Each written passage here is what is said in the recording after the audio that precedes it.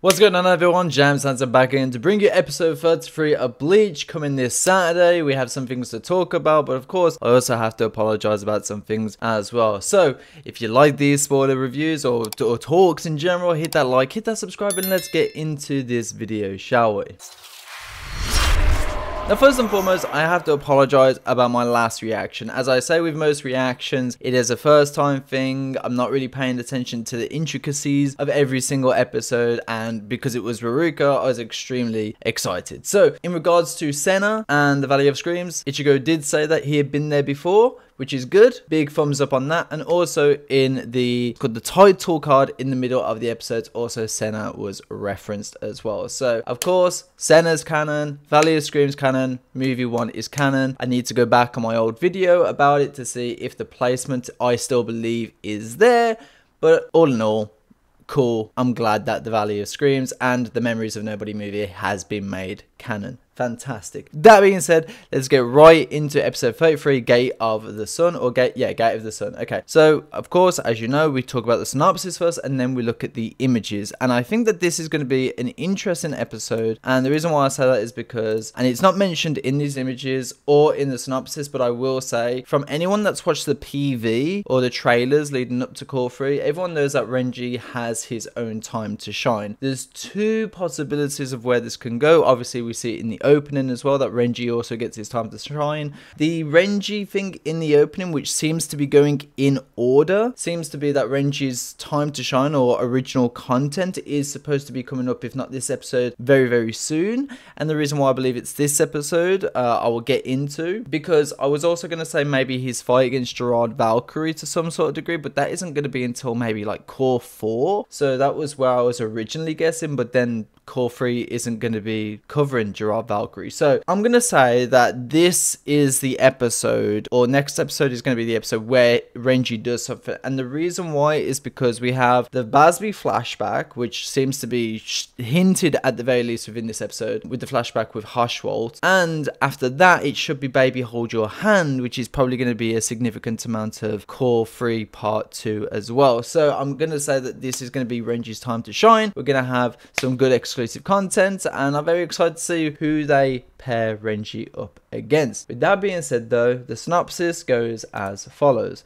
As if painting the Soul King's palace, Yhwach resembles a city lifted from the Seireitei and creates the true world castle. Shocked, Ichigo and the others begin to move towards the castle, but then Askin Nakk Le Vaar appears. Meanwhile, Kyoraku and the others run despite their difficulty even creating a foothold with spiritual, partic ugh, with spiritual particles, but awaits them is a sniper from Lille Barro or Riri Barro using his all things pierce skill. One by one, their fighting power is whittled away, but the Shinigami continue to advance without stopping. Now, of course, Google Translation, not everything's gonna be, you know, bang on point with the translation, but it gives you an idea of what's happening. So I do want to talk about these images as well. Obviously, the, the conversation here about one by one their fighting power is whittled away. Obviously, we're gonna get Shuhei get absolutely shot. Who else is gonna get shot? Is another question altogether. But let's talk about these images. Number one, we have Yhwach as the Soul King. Not really much to talk about with this image. I mean, we've seen it before. We know what it looks like. It's cool. It's not really spoilerish. So, I mean, I can't really say anything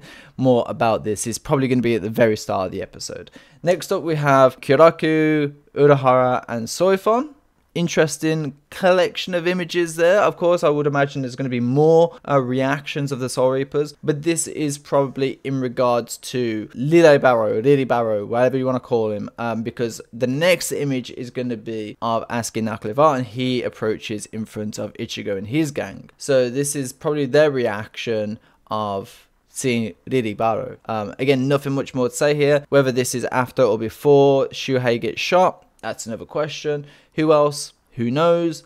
But again, an interesting image nonetheless that we can't really deter much from. Of course, then we have Askin Nakk Le Vaar. This is him kind of teasing uh, Grimmjow Jaegerjaquez a little bit because the next photo, which I want to include both of them, because again like these shots are fine but there's nothing you can go much on we do have Grimmjow with a little bit of a shocked and surprised face and this is probably towards Grimmjow missing or deflecting or something about maybe Askin's gift ball so he's a little bit shocked probably thinking what's that ability You know, how can I avoid it? Do I want to get hit by it? Type of thing. So this is that reaction to there. I was trying to see if his hand is anywhere in this image because Grimmjow also does a new technique with his fingertips um, which it's something that you know for, for those who are die-hard fans ichigo in his Vasto Lorde form did this when he went to grab um, Ulquiorra's Lanza del Relámpago. So again to see Grimmjow kind of do this goes to show that he's improved a little bit. I'm interested to see what they do with Grimmjow and showcase his ability of power. And then afterwards we also get this last image of Bazz-B and I would imagine that this is him, Liltotto and Giselle. They've teleported or used a gate to get to the main castle and this is Bazz-B looking down on that said castle. I hope they do that image correctly because it is such a nice panel so I hope that they really hit it on the nose here. But because we have Renji and we have all this stuff going on, again I don't know the pacing of the episode but you know if you're going to have Lily and you're going to have Askin kind of trolling in a sense and doing some damage and then having Grimmjow in but also adding maybe a Renji fight or a Renji altercation in there as well well. My guess, because technically, if it was to follow the manga as it is, we would be having the start of the Bazz-B Haschwalth flashback within this episode. And I don't think they're going to start that. I think they're going to make that as a as an episode as a whole because I do believe Kubo posted a script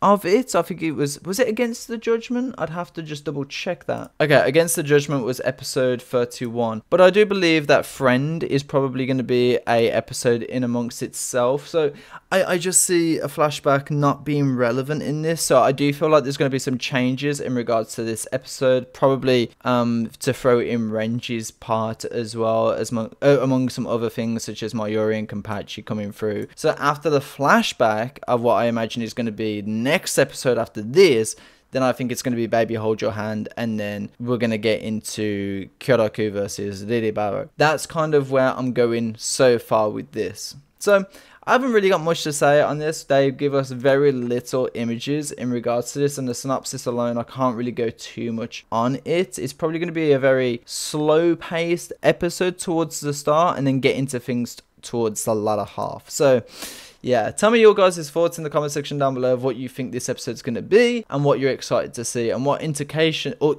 interactions you're more excited to see as well. And if Renji does get his time to shine, which is should be now in this episode, should be, anyways, I'm going to have a real difficult time seeing where his Bankai is going to be thrown into this. Uh, I'm very interested to see who's going to come through. I don't think it's going to be Pernida because Pernida has something with Mayuri. Obviously, Lille Barro is busy with Kyoraku. Askin is busy with um, with Ichigo and his gang. So it's either gonna be. Also, we do see we do see Uryu within the trailer as well with the Black Sky. So it can be anywhere between Gerard Valkyrie and Uryu. And if he's going Bankai, I would imagine it's going to be against Gerard Valkyrie. I don't see it being Uryu. I feel like that might go with somebody else, potentially. Maybe Ichigo and his gang while Grimmjow's busy with Askin, maybe maybe Ichigo comes in and does something with, with Uryu again. So, again, the ball's in your court, guys. What do you think about this episode? What's your predictions for it? And again, I always love these spoiler videos because, again, we are we're, we're in the know, but we're also in the unknown as well. So, with that being said, I'm going to catch my focus like you guys, of course, have this fine day, been Hanson. As always, people, peace out.